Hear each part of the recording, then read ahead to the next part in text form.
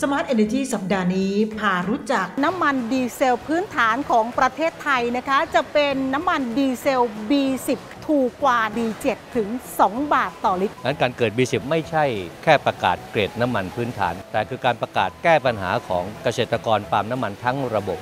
พาชมโรงไฟฟ้าไบโอแก๊ส ช่วยลดปัญหาหมอกควัน สร้างรายได้ให้ชุมชน